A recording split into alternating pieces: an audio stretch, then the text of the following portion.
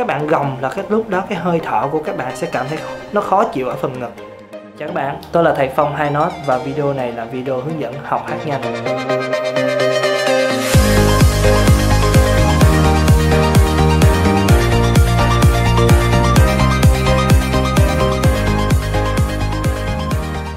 Hôm nay chúng ta sẽ tìm hiểu về hơi thở. Nói tới học hát thì chúng ta sẽ rất quan tâm tới việc là tập luyện hơi thở. Nhưng làm sao để tập luyện hơi thở đúng và hiệu quả Giúp cho chúng ta có thể sử dụng nó vào trong bài hát? Thật là hay Nhưng chỉ cần tập trong khoảng một thời gian rất là ngắn. Lợi ích của việc tập luyện hơi thở đó là giúp cho chúng ta có một giọng hát tốt hơn. Phương pháp tập luyện rất đơn giản Các bạn chỉ cần nắm vững hai yếu tố. Đầu tiên đó là các bạn phải làm cho giọng của mình, hơi thở của mình nhẹ lại trong khi nói và kể cả trong khi hát để có được một cái làn hơi nhẹ nhàng thì chúng ta cần phải tập luyện như thế này. Các bạn sử dụng hơi để đặt lên đầu lưỡi của mình và các bạn đưa làn hơi đó thật là nhẹ nhàng. Các bạn đưa từng nốt một.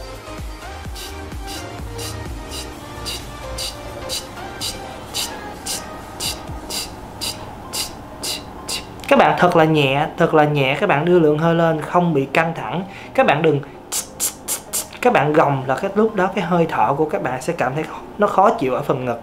Các bạn cứ nhẹ nhàng, như là đang, mình đang thoải mái, mình rất là thoải mái, mình đưa hơi lên và đưa hơi ra ngay ngay ngay chỗ răng và lưỡi của mình.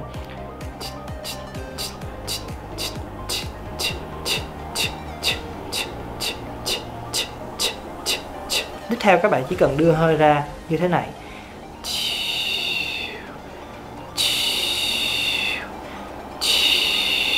Cực kỳ thoải mái và cực kỳ nhẹ nhàng, không căng thẳng gì hết nha.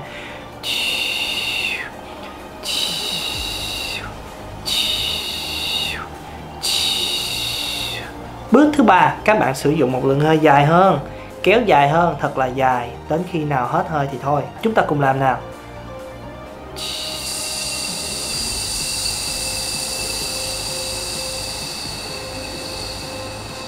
Tiếp theo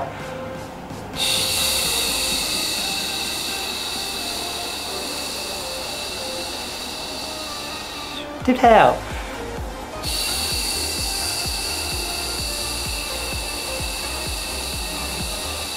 Đây là cách cách làm cho khi chúng ta hát, cái hơi của mình sẽ được thư giãn hơn. Nó không bị quá căng thẳng. Từ đó mà việc lấy hơi vào và đưa hơi ra của chúng ta nó sẽ rất là thoải mái, nó không bị gượng ép, nó không bị áp lực. Và chúng nó, lúc đó thì cái hơi của chúng ta nó sẽ trở nên thanh thoát hơn và hay hơn. Bước thứ hai, đó là chúng ta phải làm sao để cho hơi của chúng ta nôm na là âm thanh của chúng ta, nó được thoát ra bên ngoài, mà ngoài đâu? Ngoài vùng miệng của mình gồm có môi và răng, nó phải được thoát ra ngoài, chứ nó không được giữ ở trong vùng vòng họng các bạn hát. Chúng ta có một cái thói quen là chúng ta giữ ở trong cái vòng họng của mình, và sau đó trong một thời gian bắt đầu nó bị căng ra. Xong mà cơ cổ, cơ hàm của mình nó căng thẳng, cơ ngực nó căng thẳng, nó không thoát được ra ngoài. Thì đó chúng ta, lúc đó càng ngày càng hát, chúng ta sẽ cảm thấy mệt mỏi và lúc đó chúng ta sẽ bị hát phô và có thể hát không hay.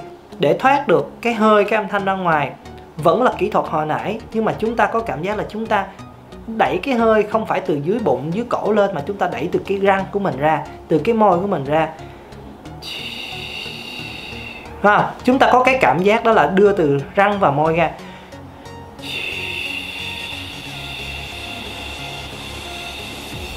Rồi đúng rồi, chúng ta hãy đưa nó ra như vậy. Một lượng hơi thoải mái nhất có thể. Chúng ta đang tập cái sự thoải mái trong cái hơi của mình Để chúng ta có thể hô hấp một cách tự nhiên hơn. Vậy thì hãy cứ để cho nó hô hấp thật là tự nhiên Bằng cách thoát âm thanh, thoát hơi từ răng và môi.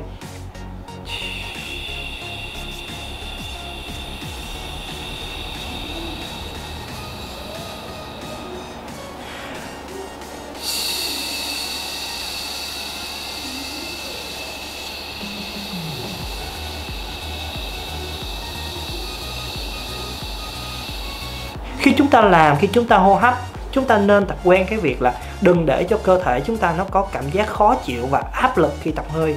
Giống như khi chúng ta tập nén hơi rồi giữ hơi rồi đẩy hơi, lúc đó cơ thể chúng ta cực kỳ bị áp lực. Có thể là lực hát của chúng ta lên nhưng âm thanh chúng ta không thoát. Và sau đó chúng ta cảm thấy rất là bị, có những cái cảm cái cảm xúc lo lắng, hồi hộp ở trong người mình về phần hơi thở.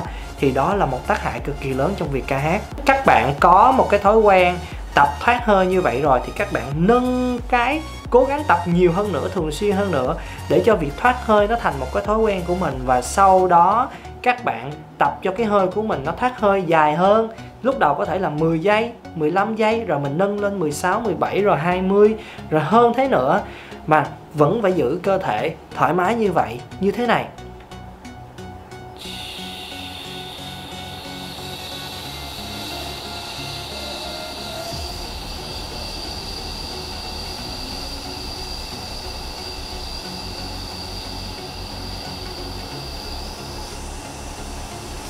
Đúng không?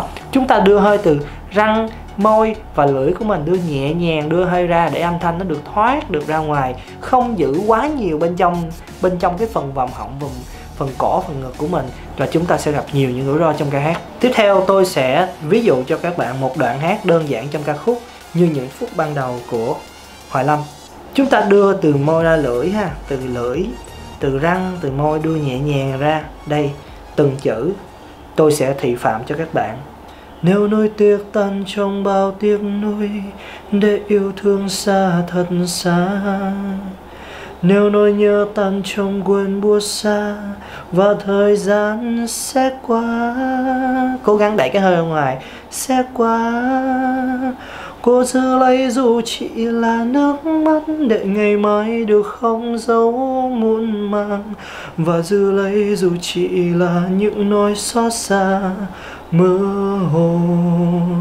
Và khi mà các bạn hát những cái nốt cao, thì chúng ta cũng phải như vậy luôn nha. Cũng phải ráng làm sao đưa từ răng đừng có để âm thanh nó bị tuột vào trong đây. Hơi tuột vào trong đây, tôi sẽ thị phạm tiếp câu tiếp theo hoài niệm rơi trong nỗi buồn hay là tan trong lỡ làng. Cuộc đời như con nước cuốn trôi dạt về đâu về đâu. Đừng để những ký ức là tiếc nuối. Đừng để yêu thương này xa khuất chân trời. Các bạn thấy chữ xa của tôi không? Đừng để yêu thương này xa khuất chân trời đừng để ta tan trong con sóng mùa xa, cô đơn giữa muôn trùng quên lãng. Các bạn hãy đưa cái hơi ra ngoài cô đơn giữa muôn trùng quên lãng. Lúc này các bạn sẽ kết hợp nhiều thứ nha.